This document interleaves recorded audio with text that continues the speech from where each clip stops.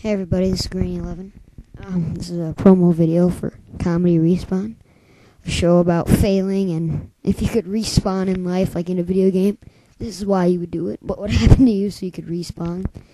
It's a funny video. It's kind of like failing. Instead of saying fail, though, you would say respawn.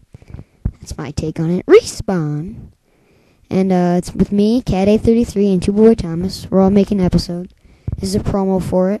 Um, it's just all types of funny jokes, funny things, um, just all types of funny pictures. The first video of mine and Cat A's is up. Tuba Boy Thomas's should be up by the end of the week. But this is just a promo. I'm gonna have links down all my videos for it. Just go look at it. It's really funny, and if you see this video, just click on it, and it's a really funny vid. But now we're going to uh, launch into my promo for it. One of my fails, one of my respawns. Um, so here we go. So imagine me, if you will. You're one of those British officers who can wear those big hats.